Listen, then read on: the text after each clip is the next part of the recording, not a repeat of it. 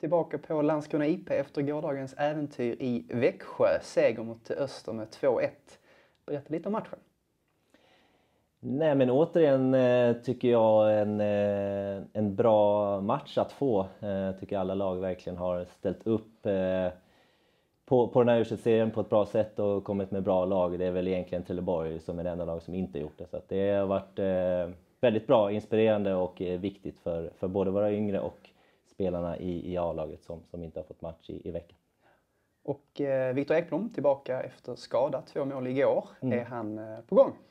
Ja, det får man ju säga. Jag eh, tycker han eh, med många andra med, med eftertryck visar att man vill vara en del av de här fyra sista matcherna som, som kommer vara väldigt spännande som alltid många yngre med i, i boyslaget eh, ta oss igenom deras insats igår. Jag tycker Alec i höst här eh, framförallt har tagit otroliga steg. Eh, var en av planens bästa spelare igår. Eh, Allen fortsätter eh, att eh, göra det riktigt bra. Eh, mötte ett, ett bra östermittfält igår och han sticker... Eh, om han sticker ut på något sätt så är det att han sticker ut på ett väldigt positivt sätt. Eh, så att det är jättekul. och ja, ingen föll ur ramen igår och det har det knappt varit på hela året heller. Så det har varit genomgående bra prestationer. Och eh, den ordinarie U21-serien är ju nu över. Ta oss gärna igenom säsongen i, i stora penseldrag.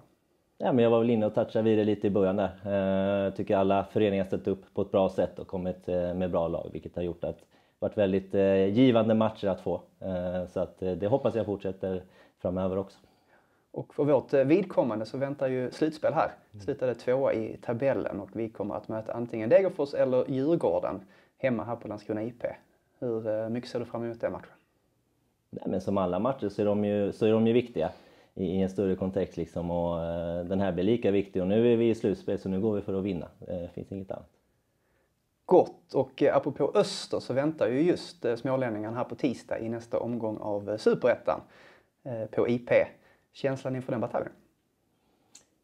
Ja, men det är fantastiskt. Eh, fyra matcher kvar och vi är eh, fortfarande med. Så att det är ju eh, härligt. Vi måste studsa tillbaks från en, eh, en dålig prestation senast. Eh, och det har vi ju alla möjligheter att göra. Mötet Öster där det brukar vara tajta, bra matcher. Så att det är bara att ställa in sig på, på ett krig där ute. Och vad har vi för status på, på truppen? Ja, men det är väl en, en bra status. Vi har ju avstängningar på Murbeck och Filip Olsson. Eh, definitivt borta är ju Erik Persson. Eh, och det är väl det definitivt eh, just nu. Yes, Jonas Olsson ska väljas in i Hall of Fame. Vi kommer fortsätta med Idrottens dag där alla skolungdomar i Landskrona eh, bjuds på matchen. Mm. Och vi hoppas såklart på mycket publik. Vad innebär eh, stödet på läktarna? Ja, jättemycket. Det tycker jag väl hemmatabellen visar som vi just nu leder. Eh, vi började ju utan publik men, eh, och, och, fick en bra start hemma. Sen, sen när publiken har varit tillbaka så har vi kunnat fortsätta göra bra prestationer. Det är klart att det ger ett, ger ett extra stöd.